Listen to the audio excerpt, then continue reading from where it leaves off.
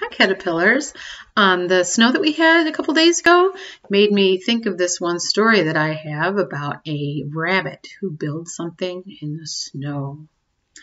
And uh, let's see, it's called The Mouse That Jack Built.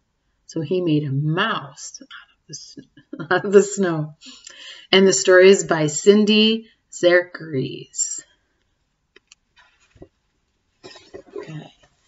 We're going to see this somewhere in the story. Let's see if you can find it. There he is, rolling the ball to start out his snow mouse. This is the mouse that Jack built. This is the raisin used for the nose on the face of the mouse that Jack built. You see the reason? Oh, what do we see down here? Two little mice making what? Their own. These are the whiskers that wiggled and twitched, causing poor Jack to giggle and itch. Put next to the raisin used for the nose on the face of the mouse that Jack built. There's the two sticks that he used for the whiskers. And oh, look at that, he's getting tickled and itched. There's the mice making their own snow something. Jack used his hat, all tattered and torn. Where did we see this? Along with his scarf, all tattered and torn. It just means they're kind of old and ratty, kind of used up. Hmm. One set on the head, one wrapped round the neck, brushed free of snowflakes, every speck. Below the whiskers that wiggled and twitched, causing poor Jack to giggle and itch, put next to the raisin used for the nose on the face of the mouse that Jack built. So, there's the hat on the head, there's the scarf, below the whiskers, and there's the raisin used for the nose. Mom called him with a scold. Jack, come home. Your supper's cold. What does she have in her pockets? We'll see those again in the story later, too. Now wear your hat, though it's ragged and worn. She put on his scarf, all tattered and torn.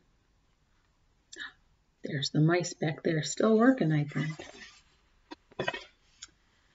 One had, one had set on the head, one had wrapped around the neck, brushed free of snowflakes, every speck.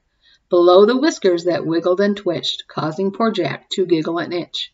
Put next to the raisin used for the nose, on the face of the mouse that Jack built. Look, they made one. What did they make? They made a rabbit. What do you think they're going to make with these? Hmm, I wonder. This is Jack. He went home. what are they doing there with his like with his tongue? what are those mice doing? Oh my goodness. Ate his supper and went to bed. Let's see if he wore all the necessary things for outside. I see his coat, his scarf, his hat, his boots. Hmm. He wore mittens too, I think them early the next day. Mama finished a new scarf and hat. She sent Jack out with a hug and a pat. Look, he's got a new hat and scarf. What did she use to make that, that scarf and hat? Hmm. With his old hat all ragged and worn, and that old scarf all tattered and torn, to put back on the mouse that Jack built. Look at what those mice did. They made a lot of snow bunnies. Let's count them. Use your finger to help me count. One, two, three, four, five, six, seven, eight, nine, ten. Ten. They were some busy, busy mice, weren't they? Well, I really liked that story. I hope you did too. See you later. Bye.